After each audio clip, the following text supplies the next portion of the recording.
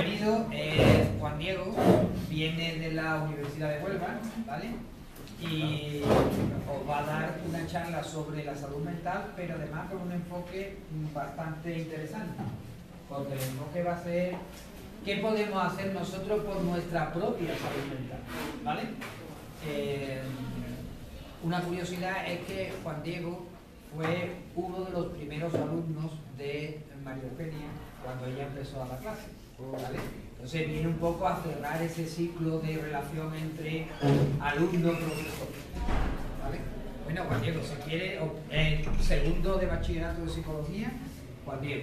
Eh, buenos días. Eh, estoy aquí un poco como asustado. No estoy acostumbrado a enfrentarme a gente como, como vosotros, de jóvenes y de curiosos y de suelo estar con gente más mayor y quizá con menos curiosidad.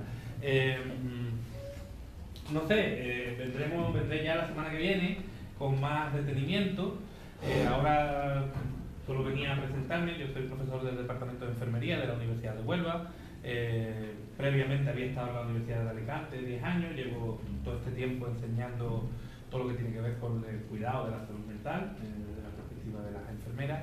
y bueno, yo de la semana que viene estaré a vuestra disposición. De aquí a la semana que viene podéis ir pensando en preguntas o en cuestiones que queráis tratar sobre la salud mental. Y quiero recalcar sobre la salud mental, no sobre la enfermedad, porque sé que durante el primer trimestre habéis trabajado mucho lo que tiene que ver con los trastornos mentales y las enfermedades mentales y habíamos comentado desde ahora salir de ahí y empezar a hablar de la salud.